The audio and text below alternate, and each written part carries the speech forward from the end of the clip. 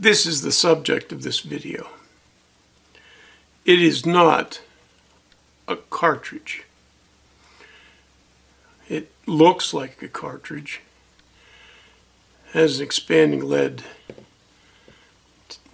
front end up here, and it has an extraction groove, and it has a primer. Looking carefully, you'll see that that primer has been used. Now, for those who are not really into ammunition, this is a cartridge. This brass colored portion is a bullet or projectile. It probably extends back somewhere this far.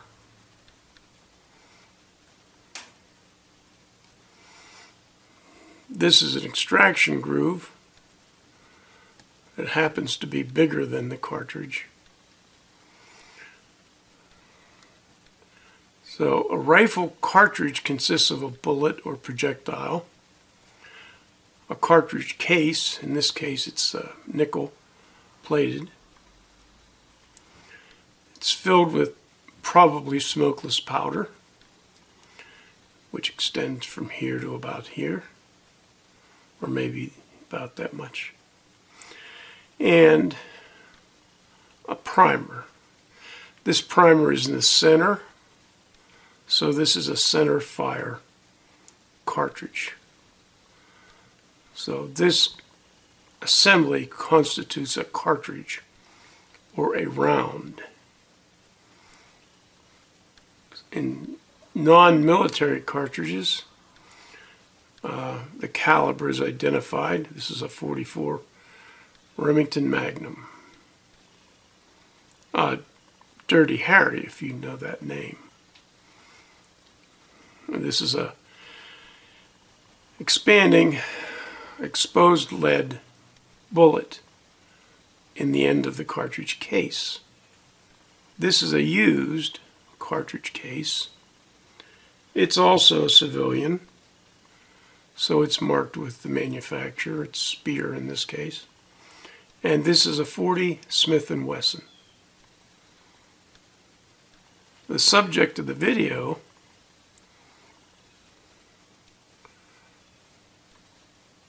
is a Federal FC civilian cartridge case marked 40 Smith & Wesson with the center primer, but it's been used, it's fired. This is a bullet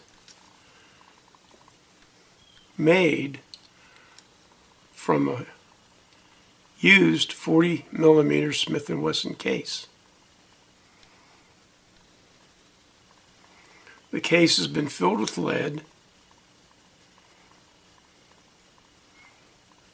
and then swaged in a hydraulic press or maybe hand press so that it comes to this dimension. It's, this brass part is the used 40 Smith & Wesson casing. The center has been filled with lead, and during the swaging process, the front end of the case was reduced in diameter, tapers, filled with lead, and serrated to produce the necessary weakened area so it expands on impact. This is a bullet or projectile that's intended to be loaded into not this particular case, but a case similar to this.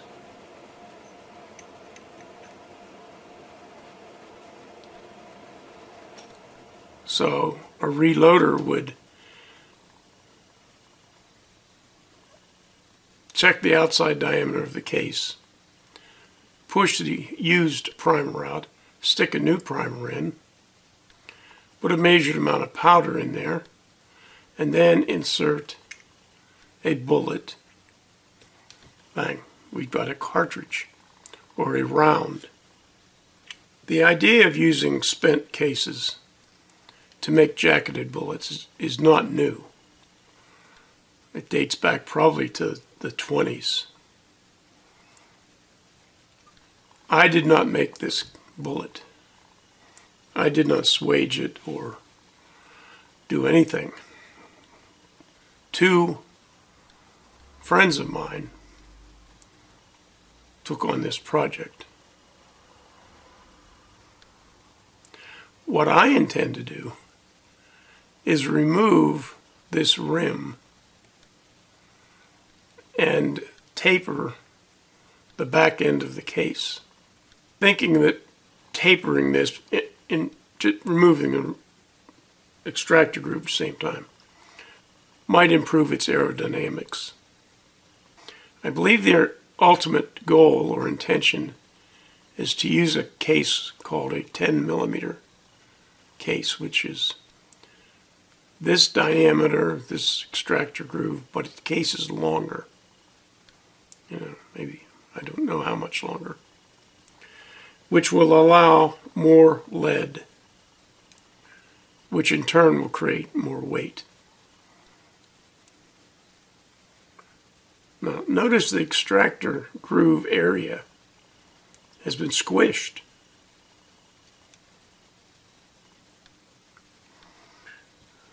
And one of the reasons that was done, the squishing, is because the diameter of this case is 10 millimeter. The diameter of the finished bullet is 11.46 or 4.51 inches. It's just a little above 45 caliber. In fact, I think this is one of the 45 nominal calibers. However, it's fatter than the parent case. Well, that was done during the squishing process it got fatter as it got shorter. And that rim extraction area moved up on the case. See, it's bigger. Now, I don't know if this was squished to its final diameter or squished to a little bit bigger diameter and then put through a uh, sizing die to reduce the whole thing to this finished diameter. Or it could have been just expanded by into a finished diameter by putting it in a, a, a closed bottom die and then just pushing downward, which crimped the, the open end of the case you can see the smaller diameter it took. And then expanded the remainder of the case. I'm not sure. I'm just going to, I hope, provide a boat tail rear end, they call it. Now, in order to uh, put a boat tail on, I'm probably going to have to make it a rebated boat tail. Not, not this groove here, this. But see how this comes in rather sharply and then travels away at 11 degree angle. So this is a normal boat tail and this is a rebated boat tail. I think I'll end up with something like that and a short shorter tail. I've taken the four jaw chuck off. I'm using a Jacobs rubber flex. I hope this collet closes up enough. Now, when holding something in, in this chuck as short as, with as small a bearing surface as the, uh,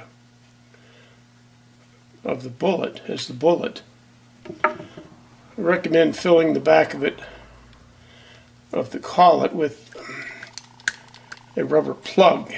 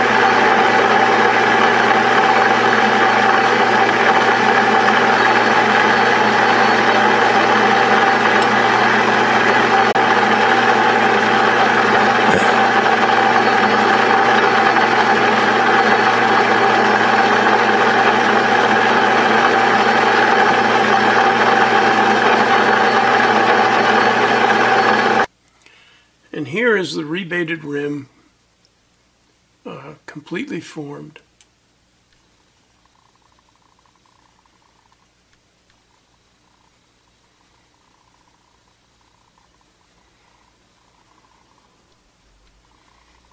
I managed to put a little tiny slope on this. It's a fair amount of work. I mean, this is a fair amount of work. This is a fair amount of lathe work to do on something that's going to be shot once.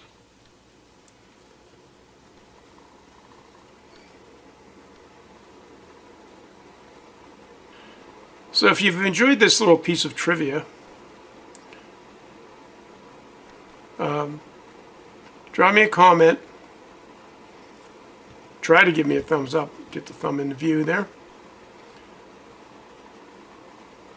If you really like it, subscribe. Come back. Thank you.